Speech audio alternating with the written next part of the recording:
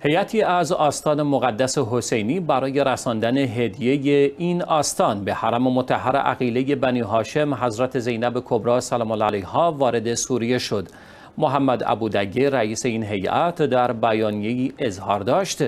بنا به دستور متولی آستان مقدس حسینی هیئت این آستان با هماهنگی مدیریت حرم حضرت زینب کبرا سلام الله علیها وارد دمشق شد تا هدیه حرم مطهر امام حسین علیه السلام که شامل 100 تخت فرش فاخر چندین دستگاه رایانه و نیازهای لوجستیک همچنین تکریم خادمان این حرم با پرداخت هدیه مالی را تحویل دهد و در تدوین طرحی برای بازسازی مرقد حضرت سکینه سلام الله علیها مشارکت کند.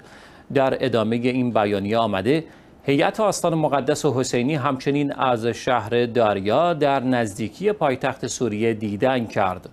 داریا شهری است که حرم حضرت سکینه بنت الحسین علیه السلام در آن قرار دارد این دیدار با هدف ارزیابی میزان خرابی ایجاد شده و خسارت‌های وارده به حرم مطهر حضرت سکینه در حمله های سنی های تندروی داعش انجام شد که با مشارکت آستان مقدس حسینی به زودی مورد بازسازی قرار خواهد گرفت.